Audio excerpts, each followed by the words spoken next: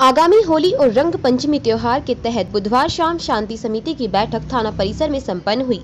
बैठक में अधिकारियों ने भाईचारे व शांति के साथ मिलजुल कर त्योहार मनाने की अपील की। बेटमा में पूर्व में टीआई रह चुके संजय चतुर्वेदी के देपालपुर एसडीओपी बनकर आने पर समिति सदस्यों ने हर्ष व्यक्त करते हुए उनका स्वागत किया। संजय चतुर्वेदी पूर्व में लगभग दो वर्ष तक बेटमा में थाना प्रभारी रह चुके हैं। एसडीएम प्रतुल सिन्हा, तहसीलदार बजरंग बहादुर, एसडीओपी संजय चतुर्वेदी, विद्युत मंडल अधिकारी धर्मेंद्र पंडित, थाना प्रभारी धीरेन्द्र पाल सिंह चौहान की उपस्थिति में संपन्न हुई बैठक। बैठक में सर्वसम्मति से पर्व के दौरान शराबियों और तीन सवारी वाहन चलाने वालों को कार्यवाही करने, होलिका स्थल पर साफ़ सफ़ाई करने, ज़बरदस्ती किसी को रंग नहीं लगाने जुलूस की अनुमति लेने सहित कई निर्णय लिए गए।